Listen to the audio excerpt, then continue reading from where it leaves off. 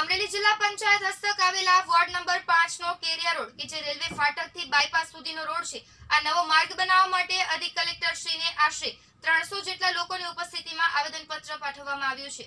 અમરેલી જિલ્લા પંચાયત હસ્તક આવેલા વોર્ડ નંબર પાંચ નો કેરિયા રોડ રેલવે ફાટક બાયપાસ સુધીનો નવો માર્ગ બનાવવા માટે સ્થાનિક લોકો દ્વારા અવારનવાર રજૂઆત કરાય છે. છતાં કોઈ રોડ બનાવી ન આપતા હોય, જેથી લોકોમાં રોષ ભભૂકી ઉઠ્યો છે. ત્યારે હાલ તો નવો રોડ બનાવવા માટે અધિક કલેક્ટર શ્રી જિલ્લા પંચાયતના પ્રમુખ રવજીભાઈ વાઘેલા તેમજ જિલ્લા વિકાસ અધિકારી શ્રી કાર્યપાલક એન્જિનિયરને આશરે ત્રણસો લોકો સહિત આવેદનપત્ર પાઠવવામાં આવ્યું હતું.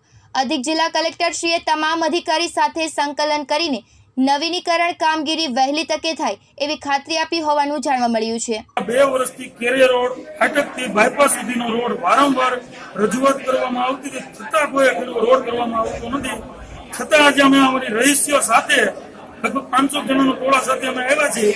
ત્યારે કલેક્ટરની હાજરીમાં પણ કોઈ આ લોકો રોડ સ્વીકારવા માંગતા નથી. વારંવાર રજૂઆત કરવી છે. છતાં ઓછામાં ઓછા દસથી પંદર જણાના પગ ભાંગા ફ્રેક્ચર થયા. Ashok Manvar, GTV news Amreli.